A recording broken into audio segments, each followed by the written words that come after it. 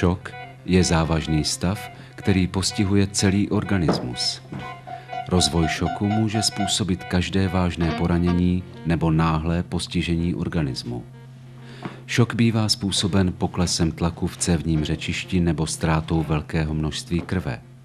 Tím se výrazně sníží zásobování kyslíkem životně důležitých orgánů, zejména mozku, srdce a plic. Šokový stav představuje pro postiženého vážné riziko a může vést až k selhání základních životních funkcí.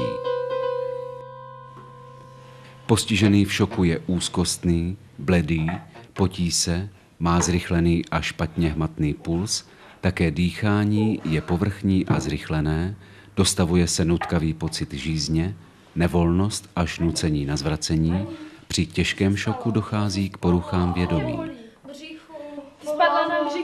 Jo. Lehni si, lehni si tady. Jsou-li zachovány životně důležité funkce, můžeme většinu úkonů zhrnout do pěti zásad, které jsou známé jako pravidlo pěti T. Ticho, teplo, tekutiny, tišení bolesti, transport. Dolní končetiny podkládáme alespoň 30 cm nad podložku. Tato takzvaná autotransfúzní poloha urychluje přesun krve z dolních končetin směrem k srdci a tím napomáhá co největšímu prokrvení mozkové tkáně. Jsou-li poranění viditelná, snažíme se v prvé řadě odstranit bolestivé podněty a provedeme ošetření zraněných částí těla. Pokud to celkový stav a druh poranění dovolí, ponecháváme postiženého v poloze, kterou sám považuje za nejpohodlnější.